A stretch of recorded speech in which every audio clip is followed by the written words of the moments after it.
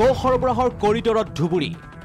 ন কৌশল অৱলম্বন গো মাফিয়াই গৰু ভৰ্তি বিলাসী বাহনৰ সন্মুখৰ আসনত থাকে যুৱতী মহিলা।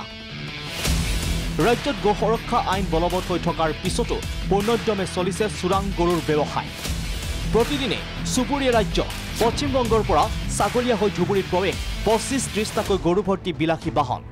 এই বাহনসমূহ ছাগলীয়াৰ লগতে বহু ভিতৰুৱা পথেৰে ধুবুৰীত প্ৰৱেশ কৰে। এই গো ভৰ্তি বাহনসমূহৰ পাছিঙৰ দায়িত্বত থাকে বাপ্পী ৰয় আশ্ৰফুল আলী ছাদেক আলী ভুণ্ডু ৰহিম মিনাল ছাগলীয়া হালাকুৰা আগমনী গোলকগঞ্জ বালাজান গৌৰীপুৰ থানা পাৰ কৰোৱাৰ নামত ধন সংগ্ৰহ পাছিং গ্ৰুপটোৰ এই পাছিং গ্ৰুপটোৱে সৰু বিলাসী বাহনৰ পৰা সংগ্ৰহ কৰে দহৰ পৰা পোন্ধৰ হাজাৰ টকা। ডি আই ভেনৰ পৰা সংগ্ৰহ কৰে বিছৰ পৰা ত্ৰিছ হাজাৰ।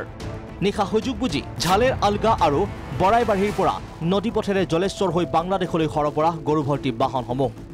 ইফালে ঝাইৰ আলগাৰ পৰা নদী পথৰ দায়িত্বত থাকে বাটেন মণ্ডল মিনহাজুদ্দিন হজৰত আলী বাবু আলী হানিপ আলী।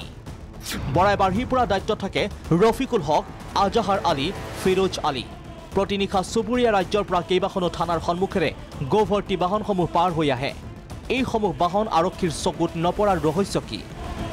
ইফালে ভিজন প্ৰাগত বাতৰি সম্প্ৰচাৰ হোৱাৰ পিছতে ছাগলীয়া হালাকুৰা ৰতিয়া দহ গোলকগঞ্জ আৰক্ষীয়ে বেৰিকেড লগাই দিনে নিশাই তালাচী চলাই আহিছে।